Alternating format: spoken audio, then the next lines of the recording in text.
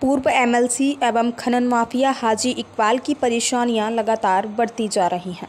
खनन माफिया एवं पूर्व एमएलसी हाजी इकबाल एवं भाई पूर्व एमएलसी महमूद अली और उनके पुत्रों की 203 करोड़ रुपए की संपत्ति को किया जाएगा कुर्क। पहले भी जिला प्रशासन, पूर्व एमएलसी व उसके परिवार की 135 करोड़ रुपए की प्रॉपर्टी जब्त कर चुका है। इसके साथ ही सहारनपुर में बनी आलिशान कोटी को भी जमी तोज कर चुका है। हाजी इकबाल अभी फरार चल रहा है और उसके ऊपर पचास हज़ार का इनाम घोषित है। कल कुछ संपत्तियाँ कुर्क करने के आदेश हुए थे न्यायालय द्वारा जिसमें आज कार्रवाई की जानी है तो कितनी संपत्तियाँ हैं और कहाँ कहाँ पर वो कार्रवाई की जाए जी जनपद सहारनपुर के खनन माफिया हाजी इकबाल व उसके परिवारजन व साथियों के विरुद्ध कल पुलिस ने एक रिपोर्ट तैयार करके भेजी थी जिसमें कि करीब डेढ़ सौ ऐसी संपत्तियाँ थी जो उनके नाम से या बेनामी थी। और अवैध तरीके से खनन करके, अवैध धन से उनको खरीदा गया था। इसको तैयार करके प्रस्ताव हमने माननीय जिलाधिकारी महोदय के यहाँ पेशा, जिसको कि आदेश हुआ है, जिसमें जब्तीकरण का, गैंगस्टर एक्ट के तहत ये जब्तीकरण किया जाएगा।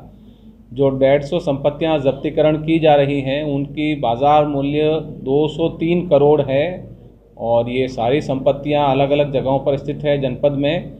जिनका कि चिन्हीकरण किया गया है और इसकी जब्तीकरण की कार्यवाही शुरू हो गई है।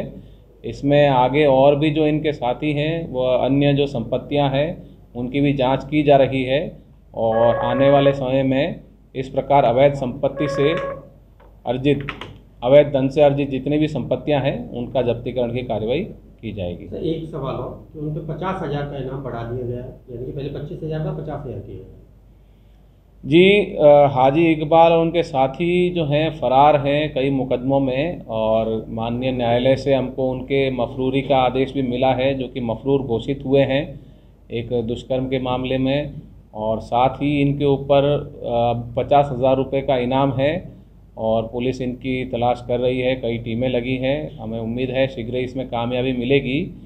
और तब तक के लिए पुलिस ने इनकी जितने भी अवैध धन से अर्जित संपत्तियाँ हैं उनको चिन्हित किया है जिसका कि गैंगस्टर एक्ट के अंतर्गत इनका जब्तीकरण करवाया जा रहा है। और आगे और संपत्तियाँ जो भी सामने आ रही है पुलिस जाँच में उसमें भी रिपोर्ट तैयार करके उसके खिलाफ विधिक कार्रवाई की जाएगी। थैंक यू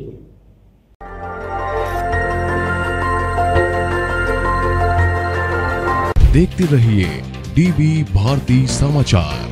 नज़र हर खबर पर।